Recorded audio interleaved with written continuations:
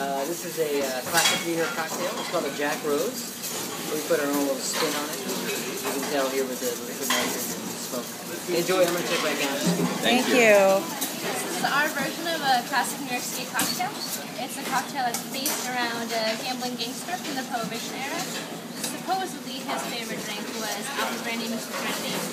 We kind of take those flavors and make it our own. So in this bowl we have apple brandy, and we're adding liquid nitrogen to it. Liquid nitrogen is pretty much the only way you can turn alcohol into a solid. So we're going to make it into a sorbet.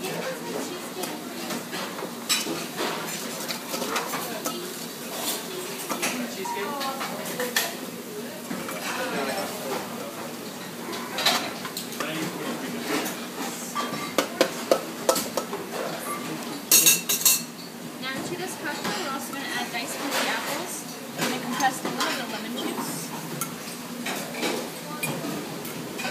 And an apple lemon syrup.